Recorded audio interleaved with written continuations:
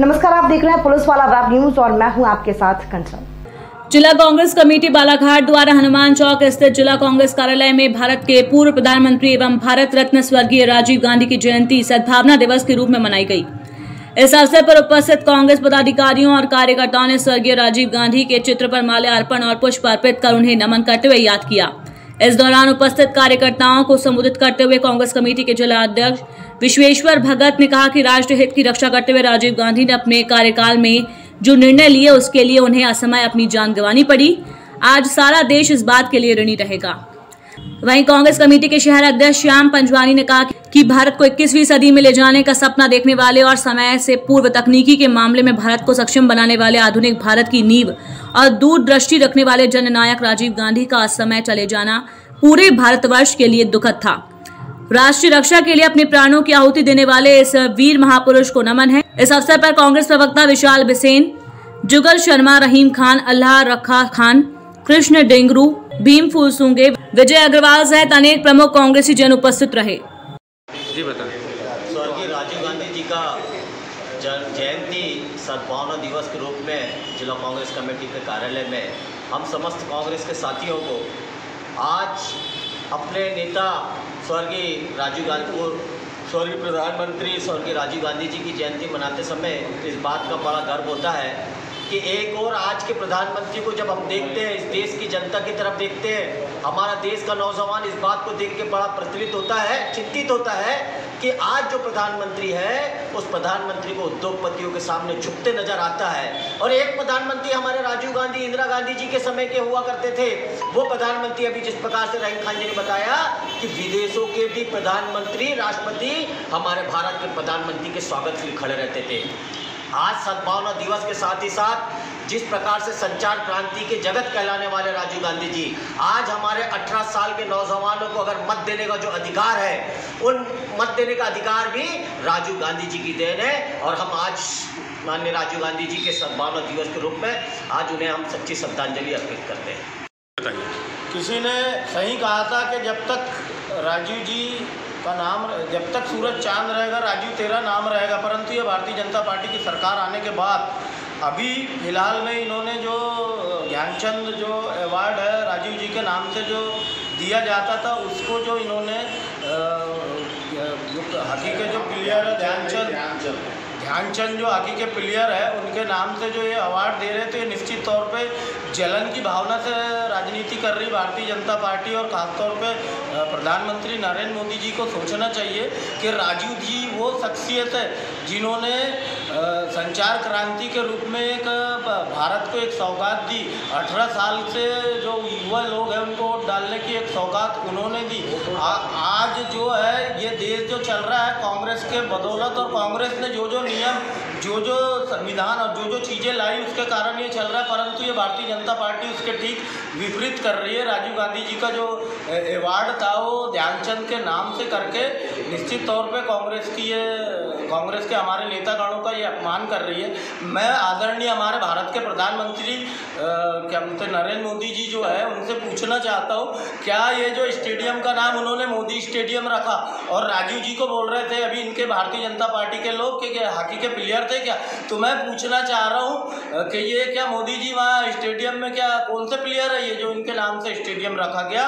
हम राजीव गांधी जी के अनुयायी हैं, और हम उनके मार्गदर्शन में कांग्रेस के पूरे तमाम लोग चल रहे हैं, और आज उनके हम जन्म जयंती के अवसर पर शपथ लिए हैं कि आने वाले समय में निश्चित तौर पे हम कांग्रेस को बहुत आगे बढ़ाएँगे और कांग्रेस का एक समय आप लोग देखना ये एक समय वो आएगा कि कांग्रेस ही राज करेगी इस देश में, क्योंकि देश की जनता ने सब समझ गई है, भारतीय जनता पार्टी की चाल से वाकिफ हो गई है। आने वाले समय में कांग्रेस ही देश चलाएगी, गांधी परिवार ही देश चलाएगा। जय हिंद जय भारत। पूर्व प्रधानमंत्री, युवा प्रधानमंत्री, स्वर्गीय राजीव गांधी जी की सतहत्तरवीं जयंती पर जिला कांग्रेस कमेटी कार्यालय में जिला कांग्रेस कमेटी अध्यक्ष जी की उपस्थिति में आज हम सद्भावना दिवस मना रहे हैं। इस अवसर पर हमारे पूर्व नगर पालिका के अध्यक्ष आदरणीय भीम फुलसुगे जी, हमारे जिला कांग्रेस कमेटी के हमारे साथी उपाध्यक्ष आदरणीय युगल शर्मा जी, हमारे ब्लॉक कांग्रेस कमेटी के साथी भाई श्याम पंजवानी जी, हमारे जिला कांग्रेस कमेटी के प्रवक्ता और जुझारू साथी आदरणीय विशाल बिसेन जी हमारे नेता प्रतिपक्ष पार्षद के आदरणीय राम भाऊ पंचेश्वर जी हमारे जिला कांग्रेस कमेटी के उपाध्यक्ष अन्ना रक्का जी आदरणीय अशोक दहरवाल जी आशीष भाई राजू यादव प्रवीण भाई चंदा दुआरे जी हमारी मैडम और भाई कृष्णा डेगरू जी हमारे आशु दहरवाल जी और राम सिंह भाटिया जी सभी लोग यहाँ पर इस अवसर पर उपस्थित हैं। आज सद्भावना दिवस के अवसर पर जिस तरह से जिला कांग्रेस कमेटी अध्यक्ष जी ने बताया कि स्वर्गीय राजीव गांधी जी की इस देश को क्या देन रही है? किस स्थिति से हमारा देश गुजरता था और आज किस स्थिति में है? साथियों, वर्तमान में जो भारत के प्रधानमंत्री हैं, वो भारत के प्रधानमंत्री अगर हमारे आज विदेशों में जाते हैं, विदेशों की यात्रा करते हैं तो वहाँ पर विदेश के जो राष्ट्रपति होते हैं, जो प्रधानमंत्री होते हैं, उनके दूत उनको रिसीव करने के लिए आते हैं। और हमारे राजीव गांधी जी का वो टेरर था जी बताएँ। बीसवीं सदी में, इक्कीसवीं सदी का सपना देखकर उसको यथार्थ के रूप में किस प्रकार से देश को इक्कीसवीं सदी में लेकर जाना है, इस सोच के साथ देश के प्रधानमंत्री के रूप में स्वर्गीय राजीव गांधी जी ने जिस प्रकार से लोगों के लिए काम किया, आज तक वो स्मरणीय है। आज उनकी जन्म जन्म दिवस के रूप में हम सब लोग यहाँ पर बैठे हैं। उनको याद कर रहे हैं। निश्चित तौर पर कांग्रेस गर्व महसूस करती, हम लोग वो गर्व महसूस करते हैं, फक्र महसूस करते हैं अपने ऊपर कि हम उस विचारधारा के साथ, उस विचारधारा वाली पार्टी के हम लोग कार्यकर्ता हैं, जिस पार्टी में इंदिरा गांधी, जवाहरलाल नेहरू और राजीव गांधी जैसे व्यक्तित्व ने नेतृत्व किया और देश का नेतृत्व किया। आज जिस प्रकार से सांप्रदायिक ताकतों द्वारा लोगों का वोट हत्या कर, झूठ बोलकर सत्ता तो उनने हत्या ली लेकिन राजीव गांधी जैसी सोच कहाँ से पैदा कर लोगे आप?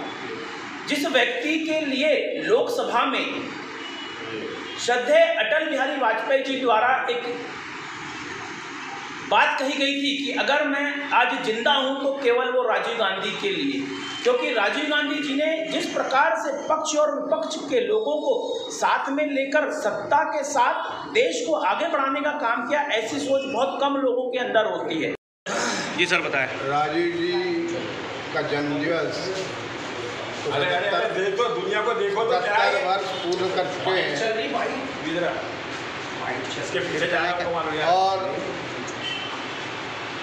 उनका जन्मदिन सद्भावना दिवस के रूप में देश में मनाया जाता है। राजीव जी इस देश में देश के जब उन्होंने प्रधानमंत्री पद का दायित्व संभाला भारतवर्ष को 21वीं सदी में किस तरह से हम विश्व के देशों के सामने हम रख सकें कैसे हम महाशक्ति के रूप में हम उनके सामने हम अपना प्रदर्शन कर सकें ये उनका हमेशा प्रयास रहा। देश के ना, ना, नागरिकों को देश के युवाओं को देश के वैज्ञानिकों को उन्होंने आह्वान किया और निश्चित रूप से उसी का प्रतिफल है कि भारत संचार क्रांति में सबसे, विश्व के देशों में सबसे अग्रणी देश के रूप में जो है भारत स्थापित हुआ था, वो राजीव जी की देन थी। उन्होंने हमारे जो सविपक्ष देश देश है, चाहे वो पाकिस्तान हो, चाहे बांग्लादेश हो, चाहे भूटान हो, चाहे चाइना हो, सभी देशों से उन्होंने अच्छे अपने संबंध बनाए। और संबंध बनाने के साथ साथ उन पर अपना दबाव भी रहा उनका।